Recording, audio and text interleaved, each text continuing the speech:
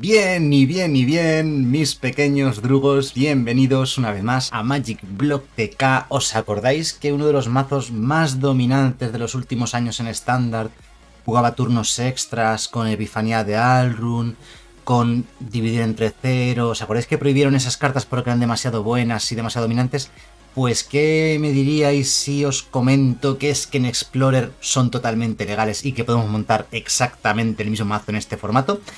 Bueno, creo que no es un buen mazo realmente para este formato, por eso aún no ha despuntado. El, formato explorador lleva ya entre nosotros unas poquitas semanas y no he visto este mazo jugarlo todavía en ninguna ocasión, pero sí que alguien ya me lo había comentado y me han dicho, oye, ¿te has dado cuenta de que la Epifanía Run es legal en Explorer, aunque en estándar lo hayan prohibido, al igual que también el dividir entre cero. Bueno, pues este es uno de los mazos más frustrantes y más dominantes de los últimos años en estándar, hasta el punto de que han prohibido varias de sus cartas, ¿no? Em, realmente la Epifanía de Alrun ya se vio desde el primer momento que era una carta demasiado buena.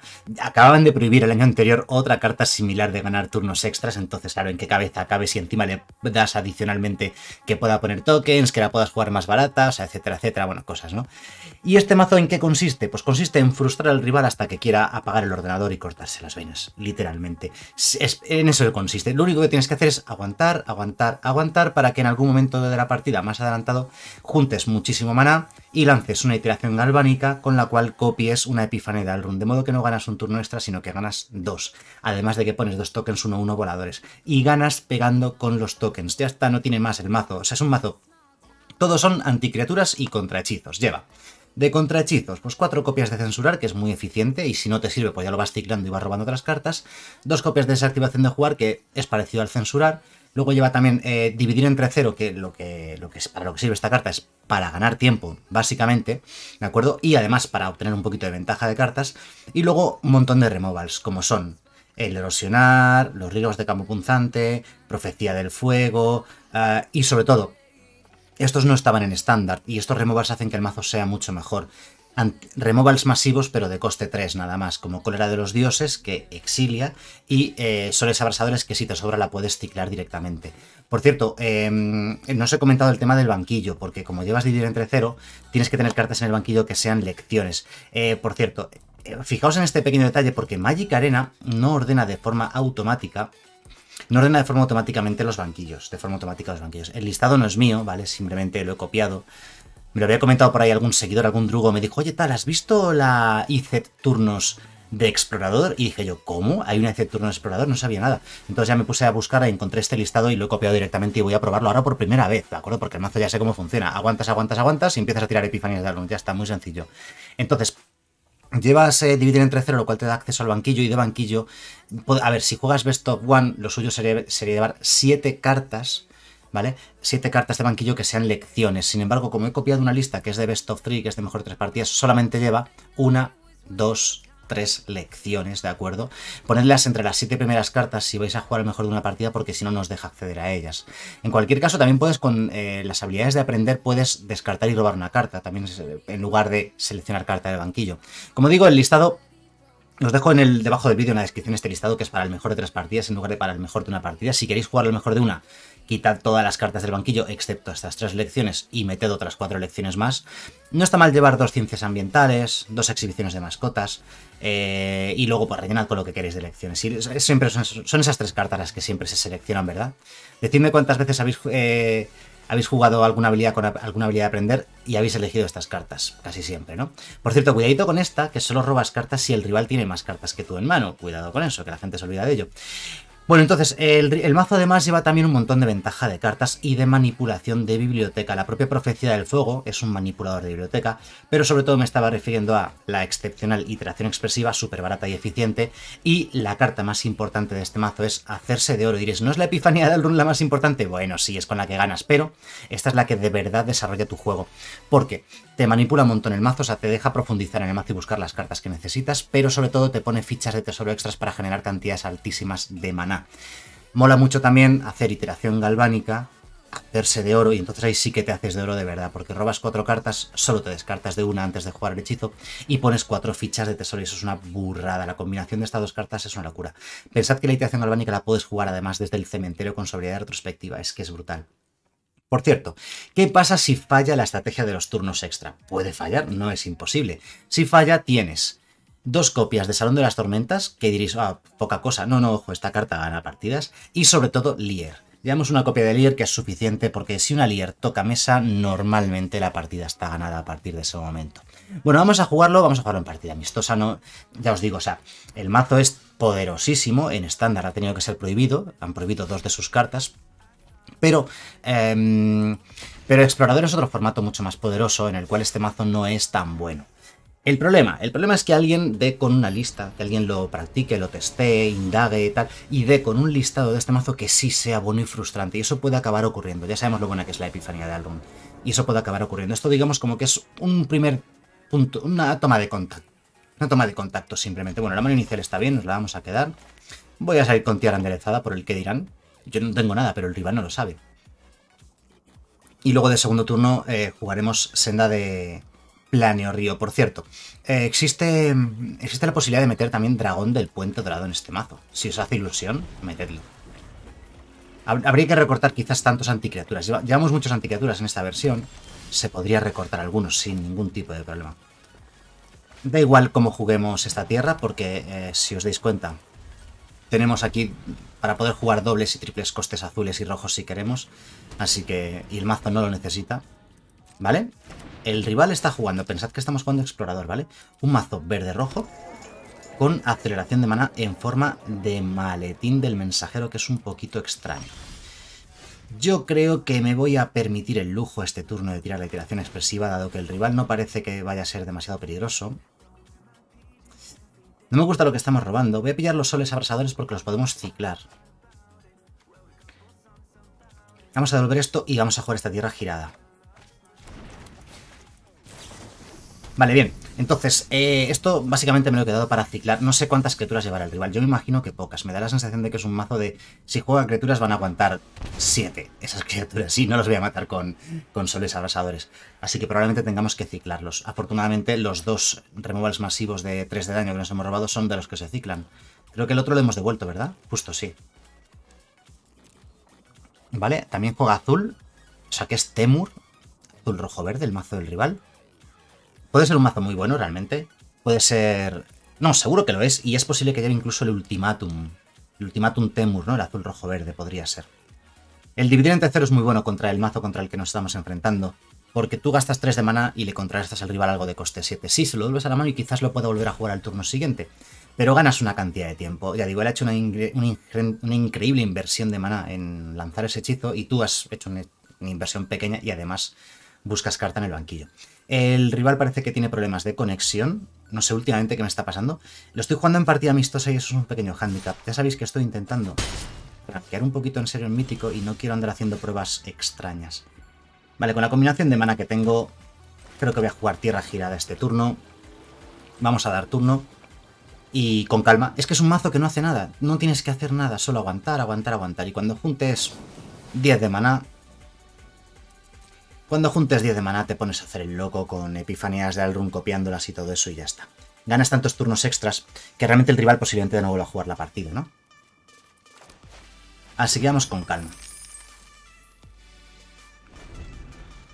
Si no juega nada muy peligroso, pues ciclamos unos soles abrasadores y si juega algo peligroso, pues quizás hacemos dividir entre cero, que tenemos dos en mano y nos van a dar un montón de tiempo. El rival tiene 6 de mana disponibles. Luca. No me esperaba un Luca en absoluto. Vamos a dejar que se resuelva. Porque si hace, si hace el menos el menos 2 sobre el token, se lo matamos en respuesta. Y su habilidad falla. La habilidad de Luca eh, requiere que requiere una criatura en juego y tiene que acertar, ¿no?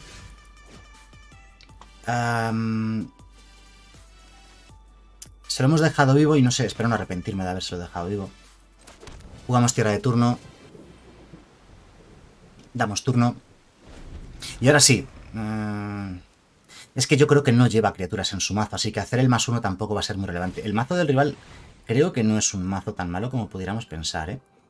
Vale, vamos a volver a dejar que haga lo que quiera. A ver si vuelve a hacer el menos dos sobre la criatura. Y se la volvemos a matar. En respuesta. Yo creo que solo lleva tokens el rival. Solamente lleva fichas de criatura para poder abusar de Luca, que es una carta bastante buena. Pues mira, podemos volver una carta al mazo que va a ser uno de estos soles abrasadores. que nos estaban sobrando y robamos otro contrahechizo. Vale, tenemos contrahechizos. No son de los mejores contrahechizos, pero nos sirven. Tres de mana nos sobran. Vamos a ciclar, obviamente, los soles abrasadores.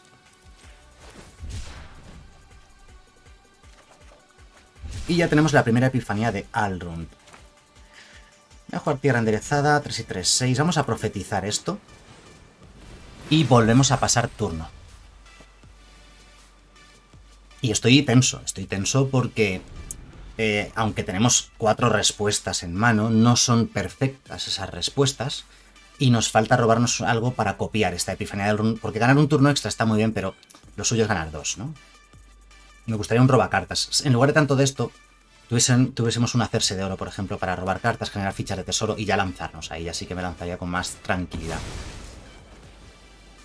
Vale, eh, yo creo que se lo voy a contrastar con el dividir entre cero. De modo que lo vuelvo a tener en mano.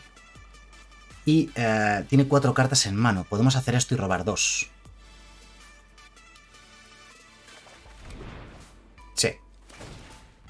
Al hacer más uno, creo que no llevará criaturas el, rival. C le ha exiliado precisamente un agente de la tradición. Podríamos ciclar esto, que ya no le vamos a dar demasiado uso. Y tenemos además otra desactivación de jugar en mano. Vale, muy buenos robos. Eh, jugamos tierra. La voy a jugar enderezada, porque las vidas nos sobran. Tiene cuatro cartas en mano, por tanto aquí robamos dos. Bien, perfecto. Y pasamos turno. Vale, eh, lo que podemos hacer es, si, si hace algo peligroso... ¿Esto cómo es?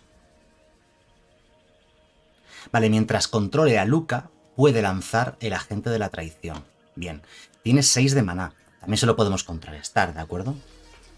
Luca es peligroso. El más uno le exilia a las criaturas del top. La única criatura que lleva en su mazo es agente de la tradición. El mazo del rival es bueno, ¿eh? Lo que pasa es que ha salido un poco lento y tal, y yo estaba dudando todavía si, fuese un mazo, si era un mazo bueno o no lo era. Pero sí, sí lo era. Es ese mazo de Luca y también llevará Transmogrify. Básicamente lo que hace es poner fichitas de criatura en mesa y con Luca o con Transmogrify las sacrifica o las exila o lo que sea y pone en juego gratis un agente de la tradición con el cual te empieza a robar permanentes. Y luego seguramente de alguna manera lo podrá eh, sacar y meter en juego, de juego otra vez, lo que sea, cosas de ese estilo, ¿no? Vale. Ah, tenía una Sokenza en, mesa y la ha tenido que dejar morir porque son legendarias para jugar una segunda Sokenza, ya es mala suerte. Juega el agente de la tradición a pelo, lo, vamos a contrastar con la desactivación de jugar. Es demasiado bueno para dejarlo entrar, no quiero que me robe mis tierras. Y vuelve a activar la habilidad de Luca, que seguramente falle, porque solo lleva cuatro criaturas. Pues no, este rival tiene la mayor suerte del mundo y le ha vuelto a salir. Otro agente de atención. Me voy a guardar esto en mano por si acaso. Vale, ya podríamos empezar a ganar turnos extras. Yo creo que ya merece la pena, ¿no? Vamos a ganar turnos extra.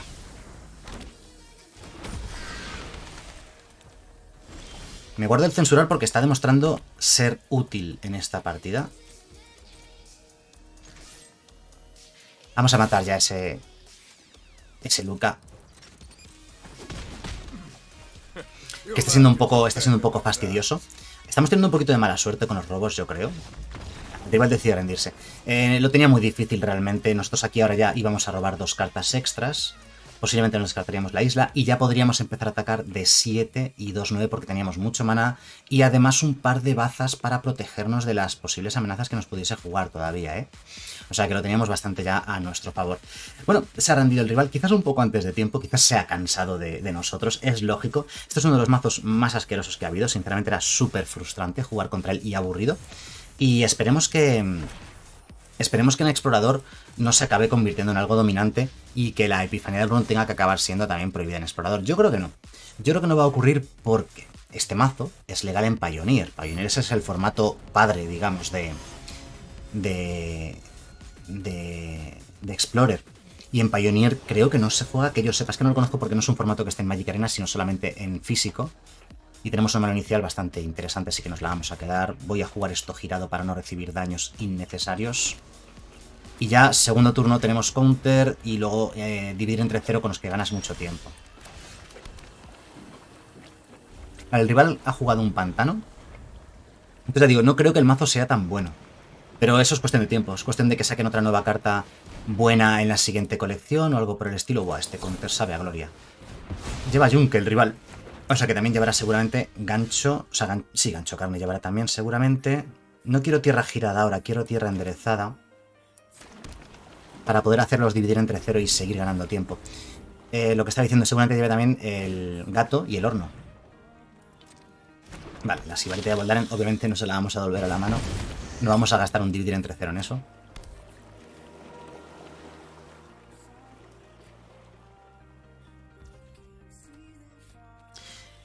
¿Vale? Y ya os digo, o sea, importante, es simplemente ganar tiempo, ganar tiempo, ganar tiempo. No quiero profetizar esa epifanía de Alruna ahora, prefiero jugar tierra girada, guardarme los dividir entre ceros abiertos. Pensando una cosa, ahora sí en esta partida sí tenemos la iteración galvánica más la epifanía. Son 9 de mana, o 6 si profetizas, o sea, u 8, perdón, si profetizas. Eh, o sea, que tenemos que llegar a 8 de mana. Aunque lleguemos a 8 de mana, posiblemente ya este rival se la liemos. Puede que lleve quita cartas, así que quiero profetizar esto lo antes posible. Obviamente no podemos hacer nada contra el sintetizador. ¿Ha jugado tierra el rival? Creo que no ha jugado tierra, ¿no?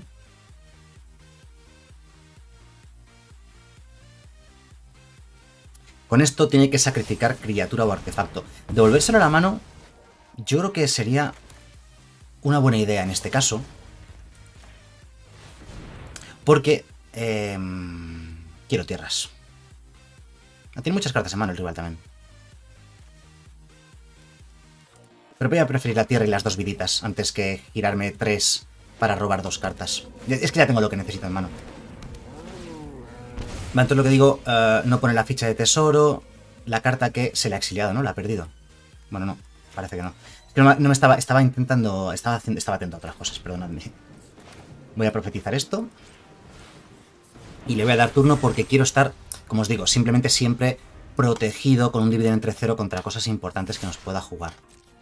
Tenemos 15 vidas, vamos bastante sobrados. Otro yunque. El cual vamos a dejar entrar. Y ya veremos en función de lo que haga ahora qué hacemos con ese yunque. Gato, vale, será por gatos. Vamos a 14. Son muchas vidas, ¿eh? Los... Vale, nos da turno. Si hago el dividir entre cero sobre el yunque, lo va a sacrificar y va a fallar el dividir entre cero. Así que ahora mismo dividir entre cero no sería demasiado bueno. Por lo cual, no lo hacemos. Esta sí es buena ahora.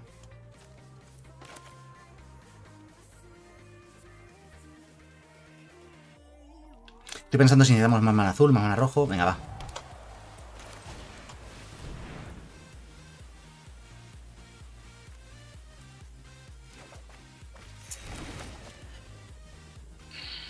Vamos a matar uno de los gatos ahora mismo. Espero que no pueda sacrificarlo en respuesta.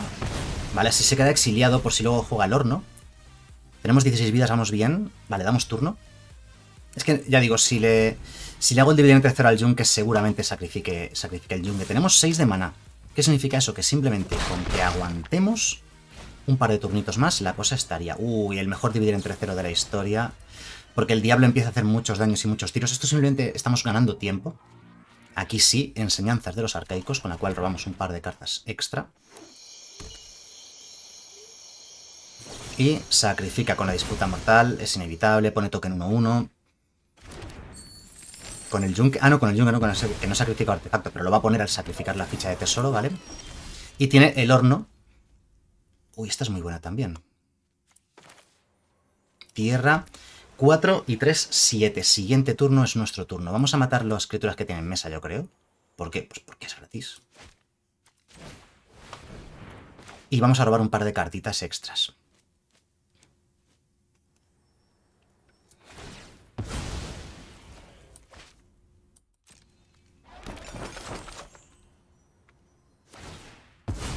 Vale, bajamos a 13 vidas. La cuestión es que no nos puede matar el turno siguiente, que es lo importante. Y es posible, si todo sale bien, no ha recuperado el gato, claro, lógicamente. No, no se de mucho lo que hemos hecho, la verdad, pero bueno. Dos tierras, vale. Si todo sale bien, es posible que ya a partir de esta epifanía y esta iteración galvánica empecemos ya a enlazar turnos extras y con un poquito de suerte el rival ya no, no vuelva a jugar más. Vamos a ver si tenemos suerte y eso es lo que ocurre. Vale, tiene todo el combo, ¿eh? Tiene horno, yunque, doble gato y diablo del caos. O sea, wow. El turno siguiente estamos muertos, sí o sí. Bueno, el turno, el turno siguiente no, porque no va a haber turno siguiente. A ver cuántos epifanías enlazamos. Tenemos que robar algo más. Hemos robado muchísimas cartas, ¿eh? Podríamos encontrar una segunda epifanía, por fin.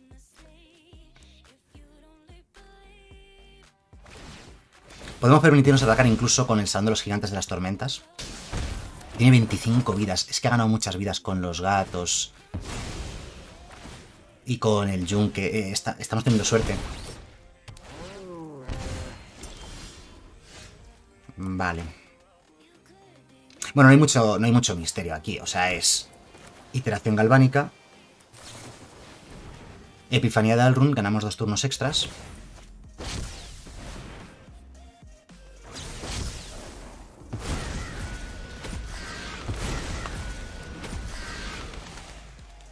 Y tenemos que robar algo más, porque si no nos va a ganar. El mazo del rival sí... Encima hemos tenido suerte.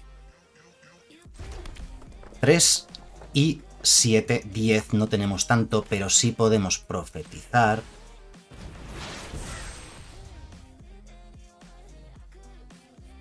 Nos llega para activar esto. Activamos eso. Tenemos otro turno más extra el siguiente turno, o sea que vamos sobrados. Atacamos con todo.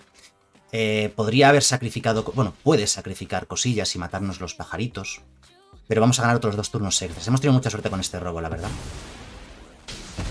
Nos ha dejado justitos, justitos, eh, a 6 de vida casi, casi muertos. Casi nos mataba el rival en esta partida. Uh, empujón fatal también. Fijaos, nos quedamos a 4. Le va a dar mucha rabia, se va a enfadar.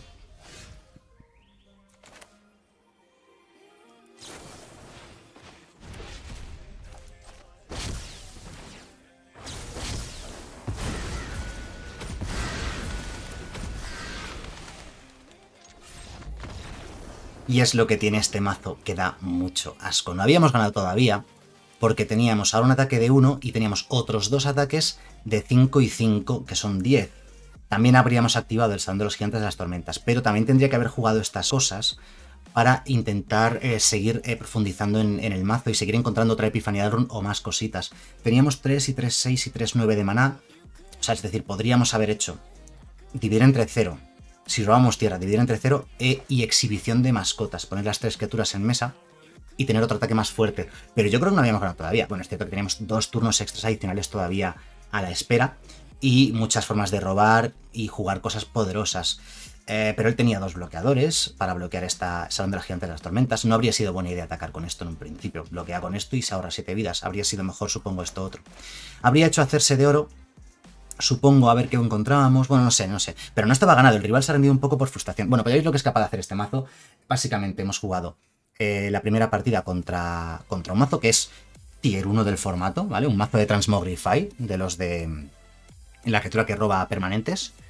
Y el otro tier 1 del formato es Rakdos Sacrifice, con Junke, con Horno de la Bruja, Diablo del Caso, es un mazo que es una pisonadora. Pues hemos ganado los dos fácilmente. Mm, yo creo que hemos tenido un poquito de suerte, ¿vale? No lo he visto tampoco tan, tan... Bueno, sí lo he visto sobrado, realmente me he visto muy sobrado en todo momento. Me habría gustado probarlo contra otros mazos agresivos o de control, pero la verdad es que llevas tantos contrahechizos, aunque sean censurar, que son pequeñitos, o dividir entre cero, son suficientes para comprar ese tiempo que necesitas. Bueno, nada más, espero que el vídeo os haya gustado y nos vemos en el siguiente. Hasta luego.